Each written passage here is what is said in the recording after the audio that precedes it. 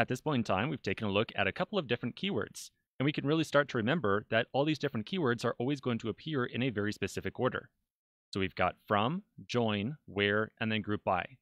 In this video, we're going to start to take a look at a new keyword called having.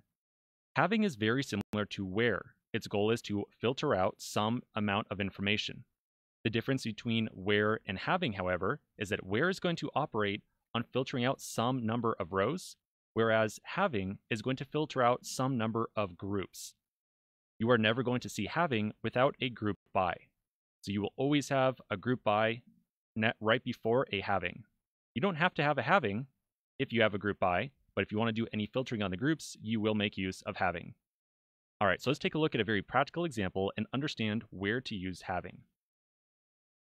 All right, so let's try to solve a little query here. We're going to walk through it in kind of diagram format and then write out a query to solve it. Our goal is to find the number of comments for each photo where the photo ID of the comment is less than three and the photo has more than two comments. That's our goal. Now I want you to notice right away that there are two filter conditions here. The first one is we want to filter and only take a look at comments where the photo ID is less than 3. The second filter criteria is to make sure that the photo has more than two comments. The first filter criteria that we're taking a look at here, this sentence right here, we're saying the photo ID is less than 3, that is concerned with the value inside of a particular row. So because we are talking about doing some filter operation over some number of rows, we're going to be making use of the where keyword for this filter step. The second filter step right here is talking about some kind of aggregate function. We have to use probably the count aggregate function to find the count of number of photos tied to a comment. And so for that, we need, or excuse me, the number of comments tied to a photo. Anytime that we're talking about using some filtering along with an aggregate function, that is when we want to use having. So again, having, whenever you see it, it's going to be very close to a group by, and chances are having is going to have a aggregate keyword inside of it, or an aggregate function. All right, so let's imagine what this is going to look like. The first thing we're probably going to want to do here is do a kind of where step, where we will filter out some number of rows. So this is going to try to enforce the first filter criteria right here. We don't want to see any comments where the photo ID is less than 3. So I'm going to find all the records where the photo ID is less than 3 or is greater than 3, equal to or greater than 3, and I'm going to delete them right away. So this one has a 4. I'll delete that. There's a 4, and there's a 3.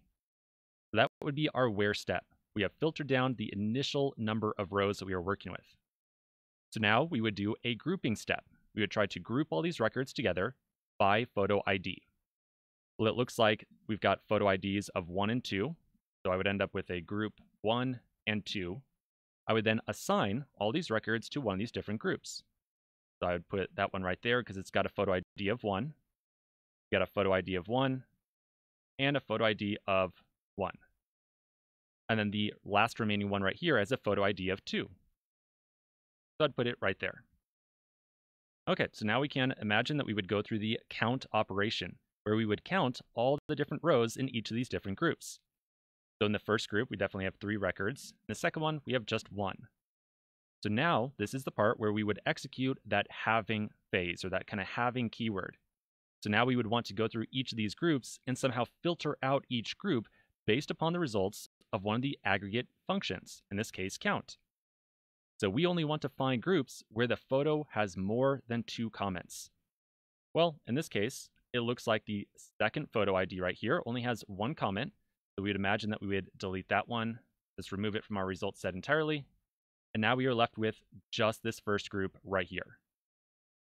All right, so the entire idea here, just to repeat once again, we make use of where to filter out the initial set of rows. We then apply our grouping logic, and then we will add some additional filtering using having. And inside of a having statement, we are almost always going to be making use of an aggregate function. All right, so now that we've got a vague idea of what's going on here, let's take a look at one or two actual queries in the next video.